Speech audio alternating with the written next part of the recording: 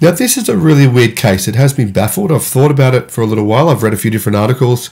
I've actually looked at the court notes as well. And when you think about it, when you compare what's going on here with every other automaker in Germany, you really do have to start questioning what is going on in Germany. Now, right now, people are saying, right, I've had these email and message sent to me many times that in China, the Chinese government is going to, at some, I don't know, predetermined point, in the very near future, take over Tesla's factories. This is imminent. It's going to happen. People really believe that. But if you look at the reality of what's actually going on, there's more persecution of Tesla in Germany by far than there is in China. So, why is that? And what is really going on? Hello, my friends, and welcome to the channel.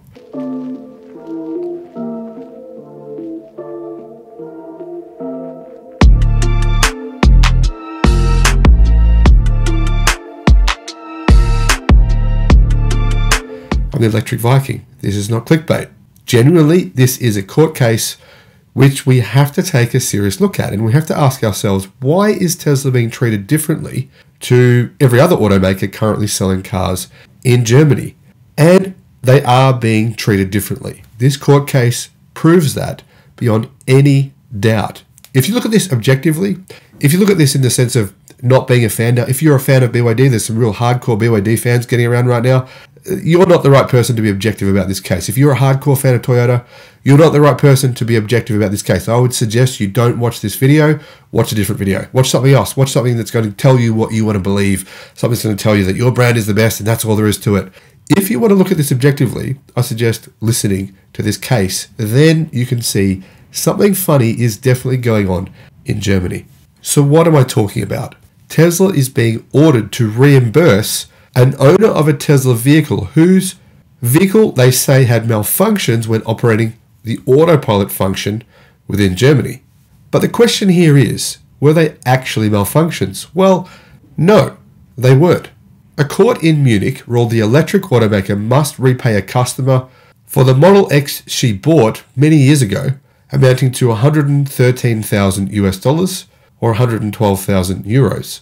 The vehicle underwent a technical analysis, don't know who by, court doesn't say by who, which proved that it could not recognize and identify obstacles on the road, especially the narrowing of a road in a construction zone and phantom braking issues. The court said that these issues could lead to a collision and were a massive hazard in highly populated areas, according to Der Spiegel, who first reported the ruling.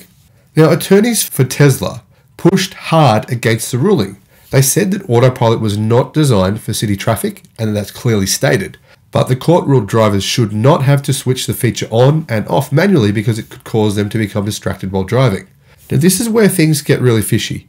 The court said that Tesla's essentially advanced cruise control system, which is what it is, that's what autopilot is, shouldn't have to be switched off manually. Now, there is not an automaker on the planet who has cruise control or advanced cruise control or driver assist, fe- assist features like this that don't have to be turned off manually, right?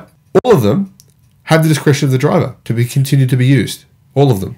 But Tesla right now, as far as I can figure out, I've done some googling on this, is the only company being forced by a court to fully refund an owner because they um, basically don't like the feature Tesla Autopilot differs from the company's full self driving suite in many ways. And if you're new to this, then you, probably might have jumped to conclusions and said, no, Tesla's saying it's full self driving. It's not. Autopilot comes standard with the cars and is simply an advanced cruise control system. Basic autopilot is included on all Tesla vehicles and it includes traffic aware cruise control and lane keeping. Lots of automakers have these features. Tesla's ones work better than most automakers, in fact, probably better than all automakers. But the point is here most automakers have a similar feature in their car, and yes, you do have to switch it off and on manually. Enhanced Autopilot, though, which was just made available in the US once again about a month ago, includes Navigate on Autopilot, Auto Lane Change, Auto Park, Summon, and Smart Summon. The full self driving suite includes all previously mentioned features plus traffic and stop sign control and will soon feature auto steer on city streets. But let me be clear here this feature is autopilot, and it's from a several years old Model X, as the Tesla Model X, the current model, has not yet been sold in Germany, right? That means the car has to be a minimum of about one and a half years old. So clearly, it's not possible that this Tesla vehicle has enhanced autopilot. Now, Tesla's full self driving beta program is not yet available in Europe. So it's not full self driving beta yet. It's definitely autopilot.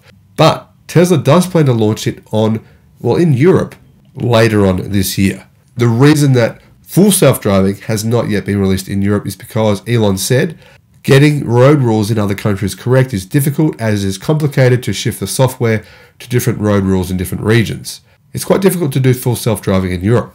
Elon Musk said earlier this year when Gigafactory Berlin opened. So basically, the court is saying it's a distraction for a driver having to push autopilot on and off. Now, just to make it clear here, autopilot is on the turn signal. That's where it is. To push on and off, you press a button there. So I think that would suggest that this court is then saying it's distracting to turn your turn signal on and off because it's exactly the same mechanism. Now, let's be clear. Autopilot clearly states it is not for city streets. It says that, literally. And it's intended only for traffic aware cruise control and lane keeping assistance. Now, in my view, the fact that it does a lot more than that is great, but that doesn't mean it should be considered full self driving. The court here, in this instance, clearly is considering it full self driving and therefore treating it in that way legally. Now, the other reason the court is saying that there's a problem with this auto steer autopilot mechanism in Tesla vehicles is they're saying that the car is not able to correctly identify obstacles on the road. Now, the question I have is Does another automaker have a similar system which can, in fact, correctly identify objects on the road?